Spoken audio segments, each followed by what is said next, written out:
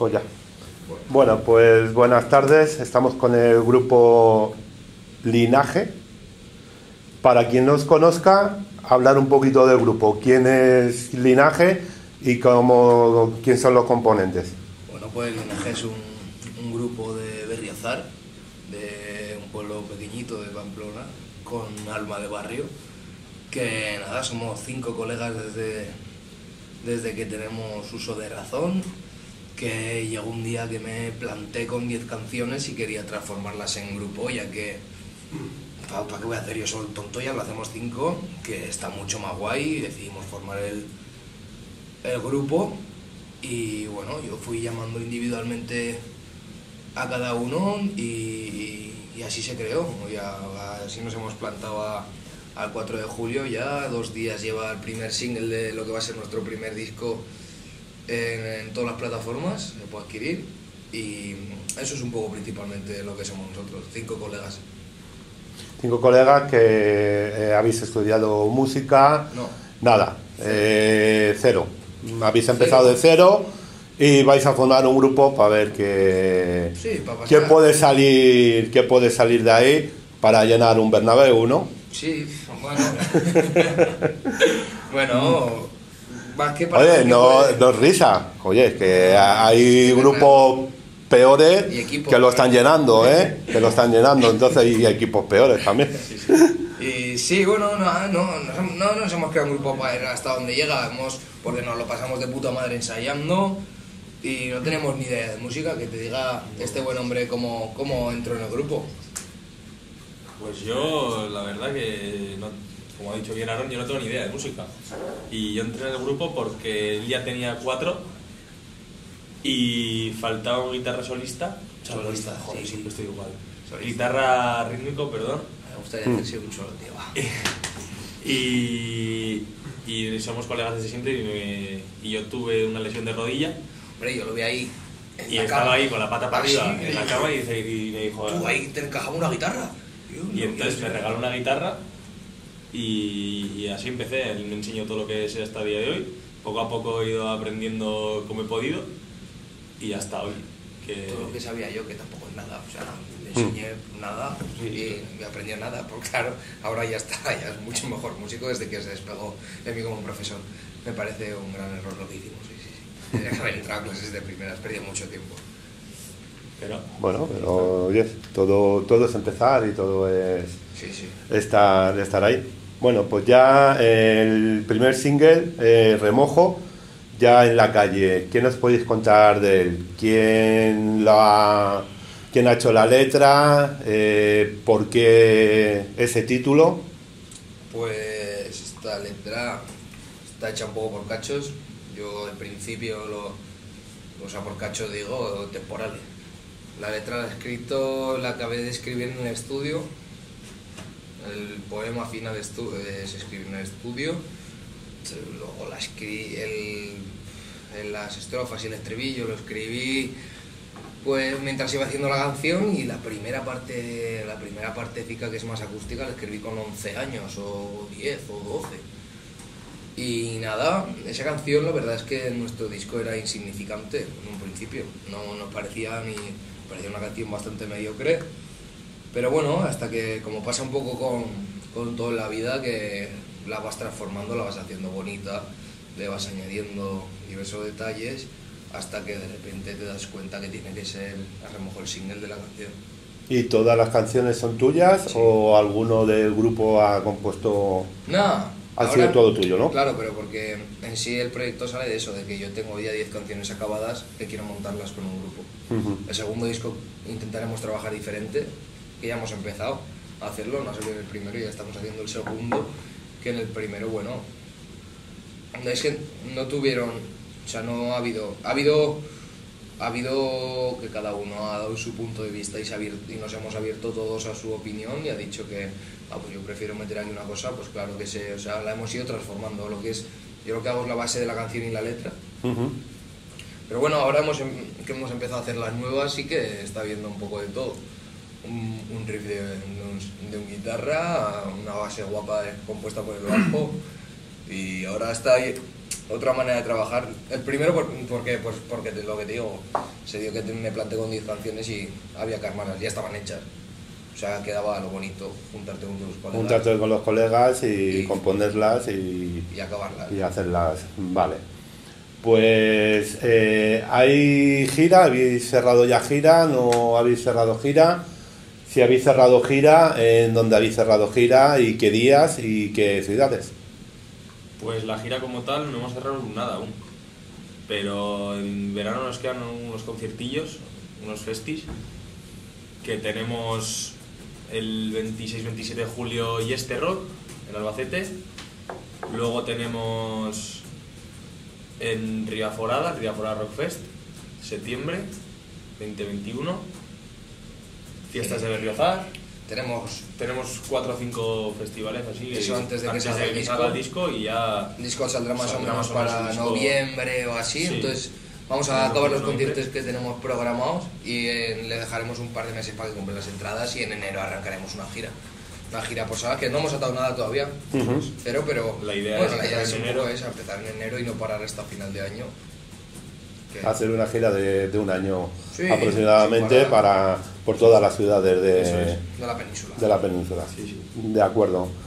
Eh, el disco, acabas de decir que sale en noviembre, octubre, noviembre, en ¿no? Noviembre, octubre. Vale. Eh, ¿En qué formato va a salir? ¿Solamente en digital o tenéis eh, hablado de sacarlo también en, en vinilo, en No, CD? Sí, sí, sí, nosotros hemos apostado por el físico siempre. Sí, ¿no? O sea, lo que no sé si saldrá en digital. En físico sé 100% que sí. sí, sí, Sí, bueno, el, lo- el logo en, la- en las- Sí, digital, lo que claro. es el, En digital en todas las plataformas, claro que, que tendrá Pero la... sí, yo quiero apostar y si desde la oficina que están ahí aporreando el teclado Don Oscar Beorlegui nos deja hacer un vinilo ni que sea para guardarlo, estaría muy bonito. Nos, ¿Qué? ¿Nos dejaréis o no? Uno. Pelota. Pelota, dice. Yo creo que uno, ni que sea para tener nosotros, estaría guay que la, la peña hoy en día... Y 500 también te dejaré favor. Sí, 500. Ah, mira, igual 500. Pues mira, oye, ya para los que vean la entrevista, Sí, sí. vayan reservando el vinilo porque ya mucha gente se está tirando otra vez a- al vinilo. Sí, Muchos grupos y mucha gente, entonces por eso siempre es preguntar a los grupos, que muchas veces los grupos pues dicen, pues no, mira, eh, solamente en digital porque en formato de CD, en formato vinilo, pues No no, nos- no nos atrevemos a sacar todavía porque Bueno, no tal. tenemos la suerte, como bien sabes, que hemos crecido en una escuela diferente a, la- a los jóvenes de hoy en día. Hemos crecido en un entorno de rock and roll y somos también viejos coleccionistas como ellos. Bueno, tú has tenido un buen maestro, que es Cuchi, de cantante de Marea, y vosotros habéis tenido un buen amigo que, que es Cuchi. Entonces, Sí, sí. claro, eh, es uno de los grupos que más, eh, más giras está haciendo, más conciertos están haciendo, y Marea es Marea. A ver, Marea Es el es mejor grupo. el mejor grupo, exactamente. Actualmente, sí. Entonces, actualmente, sí, sí, no, no, pues, no dicho por nosotros, dicho por, por críticos musicales Y por y por, y por ellos, claro. Sí, sí, a mí me parece que están haciendo un trabajo genial. O sea, y lo llevan haciendo este que es... Hombre, lo llevan haciendo toda la vida. Yo por lo menos lo sigo toda la vida y desde el primer disco hasta el último siempre han mejorado, siempre han sido... Siempre, no, sí, no- y me gustaría decirte esto sin la condición de, de que fuese Cuchi la persona que tengo al lado, pero yo no, no veo otro grupo superior a Marea. Por eso te digo que tampoco es, es Cuchi, es Cuchi, Y- Mare, eh, Colibrí, Piña. Colibrín, César y. Allen. Entonces no es solamente Cuchi. Cuchi es un grano de, de arena para todo el castillo Sí. que, que ha hecho, que ha hecho Marea. Que seguramente vosotros en poco tiempo también seguiréis los mismos, los mismos ca- caminos. Sí, a ver qué tal va. Nosotros- Sí, seguramente que, que bien. Y yo te he visto en directo con tu, con tu padre en la Ribera y la verdad que me gustó lo que, lo que vi. Vale. Me pareces un buen cantante, una buena, una buena persona.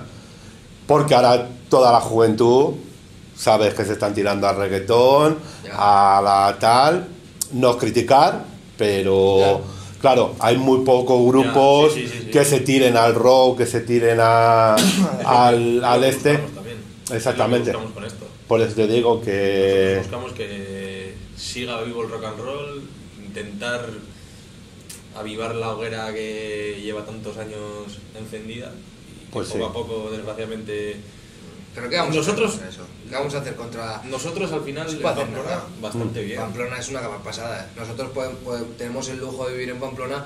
Pamplona sí que nos está muriendo la escena. y No se va a morir nunca. Tú te subes a Pamplona cualquier día de Nunca la se va a semana. morir. Cualquier Siempre- día de la semana en Pamplona te encuentras un concierto de rock and roll. Por eso te digo, Y no, y que hay... mismo se hacen muchos bolos de rock and roll cada semana. Mm. En Berriozar, fíjate que es un barrio de 10.000 personas. Se hacen un copón de bolos de rock and roll en, en el pueblo y Iruña sí que tiene un que ahora hoy en activo en Iruña ya hay muchos grupos de rock and roll que fin de sí fin de también y tenemos la suerte que en, en fiestas de todos los barrios de Pamplona hay solo se contratan conciertos de rock o de, bueno de otros estilos también pero bueno como tú hubieras dicho no podemos hacer nada o sea la- los jóvenes en- entre nosotros que se habla la cosa el mensaje de- el mensaje de- de- el mensaje que hay que transmitir hoy en día, pues los jóvenes los, lo han encontrado en el, en el rap o en el trap o en el reggaetón. Pero contra eso ya no se puede hacer nada, eso es elección de cada No, no, ya cada uno tiene su acción, tiene sus cosas, Nosotros pero sí que, seguir- sí que gusta y nos gusta, yo como medio musical, mm, nos gusta que gente como, como vosotros, jóvenes, saquéis estas alternativas que digas, o sea, es que eh, el rock nunca va a morir, nunca va a morir, porque eh, hay muchos grupos y muchas... Pero bueno, sí que ves que hay mucho, mucho estilo musical más tirado al rap, más tirado al reggaetón, más tirado a- al. Entonces, cuando sale un grupo como, como vosotros, pues apoyar el 100%, yo por lo menos por mi medio que, que hablo, apoyar al 100% porque es una de... Yo he vivido al lado de la discoteca Canciller, tú eres un crío, no la conoces, yo sí, pues sí, la discoteca Canciller fue la, la- el paraíso del, del rock. Ahí tocaron Iron Maiden, tocaron New, Boycott, un montón de, de- de grupos.